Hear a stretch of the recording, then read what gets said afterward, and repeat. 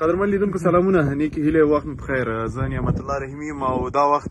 د بوس کلا د غونډۍ په سر چې په همدغه ځای کې ویل کېږي د نوشیروان عادل قلا وه او یا ماڼۍ وه د اوسېدو ځای و نو ماښام هم دی راځئ ورښکته کېږو چې دلته څه دي ځکه د دې په اړه ډېرې ډېرې خبرې کېږي خلک یو څه بل څه وایي خو به یې ګورو چې دننه چې شته که نه شته نو دغه سي زینې ښکته دي بدبختانه په موږ باندې ماښام شولو او دا زونه لاک نه ده لاک د چې د ډرون فوټیج مخکې وای خو بس دې خواته به یو ګورو دلته نو یو ډول ویرب کې خبره ده په دې ځای کې ځکه خلکو ډول ډول خبرې کړې دي دې ځای په اړه نو قدرمن لیدونکو دا ځای ده او د ځمکې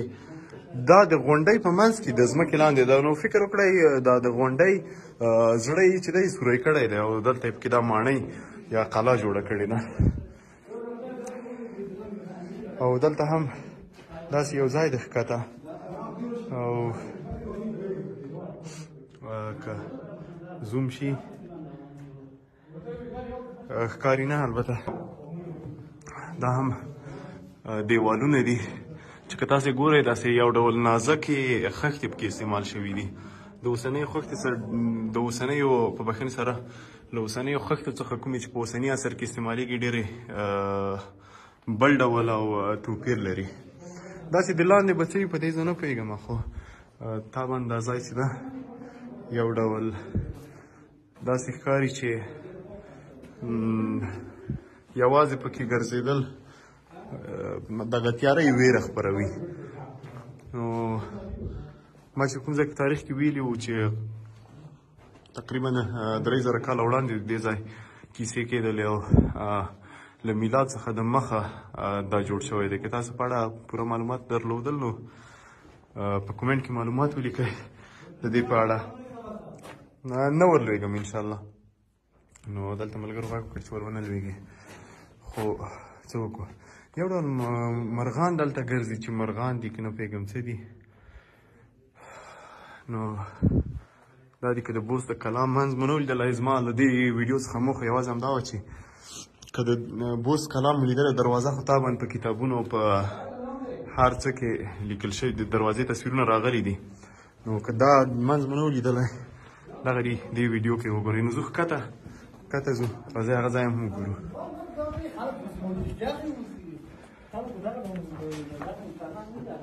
نو دا هم له بره څخه چې کومه لار راختلې ده او دا هغه لومړی د ځمکې لاندې پوړ و او اوس له دې څخه هم ښکته ځو ښکته ځو تیاره ډېره زیاته ده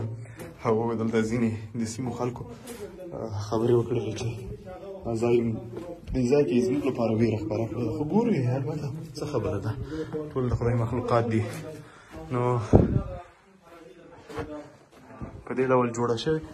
او بیا هم د یادونې وړ ده چې دا ځای چې دا له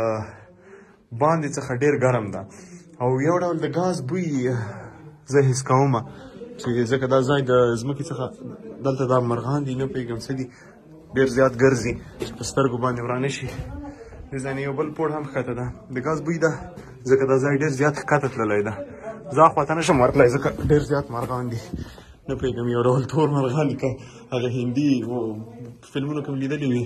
هماغه ډول د انسان په مخ باندې مخامخ حمله کوي قدرمن لیدونکو دلته په کیمره کې نه راځي ځکه زما پلاس موبایل او دا یو ډول خوای دی بیخي نو دغه ځای چې ده په دې استقامت کې لرګي استعمال شوي دي نو دا کوم دلته اول لیکل شوي او یو بل پوړ هم ښکته ځو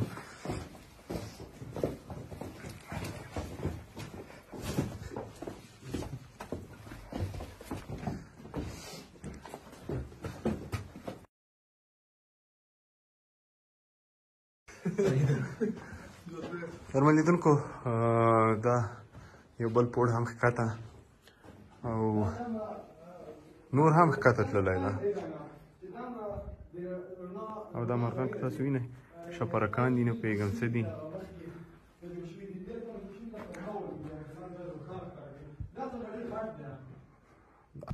دلته لګ لګ دیوالونه نړیدلی هم دي خو په پوره معنا شاید هم 50 متره د ځمکې لاندې و دا اوس موږ او نور هم لاندې تللې ده دا قلا زه د ټول څخه یوازې یم دوی اخواته دي نو خدای دې زما خیر کوي بس هغه د غلط کمیټونو څخه ډډه وکړي ما کوي دا دا د قدرمن جلال صاحب دی نو دا مې یادونه کوله جلال صاحب ما چې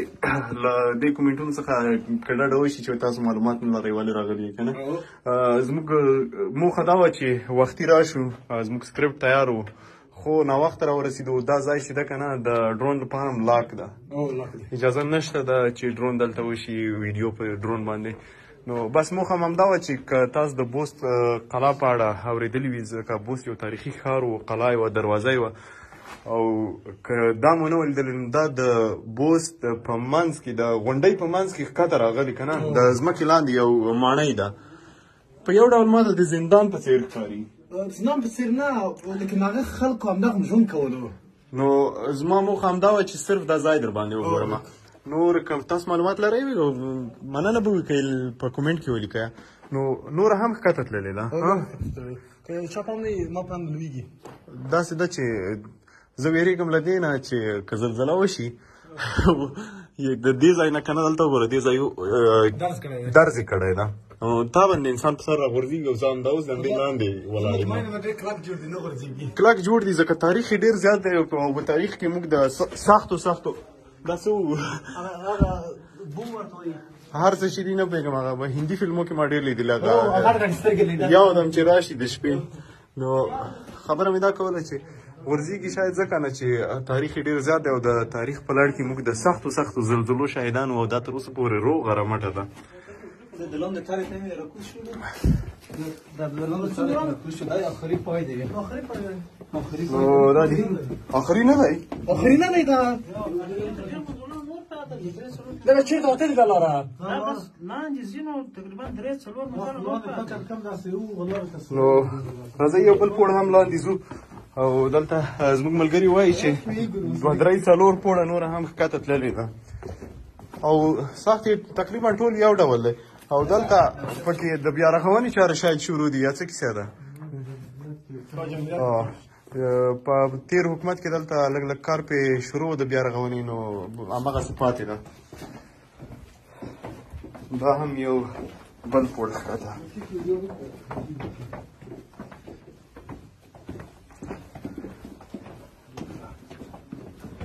ډېر عجیبه نه ده تللې لاندې دا ټوله غونډۍ کې لاندې تللې ده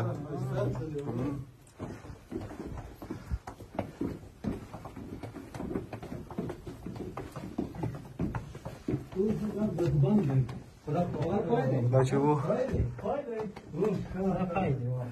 راځئ تر دې پایه هم ورځو چې بیا په زړه کې د دې تشه پاتې نه شي چې ومو نه کتله دا یې وروستی پای ده دا د بوست قلا وروستی پای ده او د بوتلو د د خوراک ځینې اثر دلته پاتې لدې څخه ښکاري چې دلته هم خلک راغلي تر پای پورې نور نشته ډکه شوې ده ډکه ده کني کته شوې و او کته ده یعنی نور هم ځای شته خو دلته په خاور باندې ډکه شوې ده او نو د خلکو په وینا باندې چې درې څلور پنځه منزله چې ده دا ډکه شوې ده او ښکته نوره هم تللې او دلته د دې دیوال څخه که تاسو وګورئ ښکاري چې دا واقعیتي هم ډکه شوې او ځکه دا دیوال دوام لري نور هم خواته جوړ ده نو دا هم پای د اوس لپاره هم دا پای ده خو پخوا وایي چې نوره هم ښکته شته او ډکه شوې ده نو قدرمن لیدونکو دا هم د بوست په کلا کې د یو تاریخي کلا و چې د غونډۍ په زړه کې جوړه شوې ده د ځمکې لاندې نو ښې چارې ښه وخت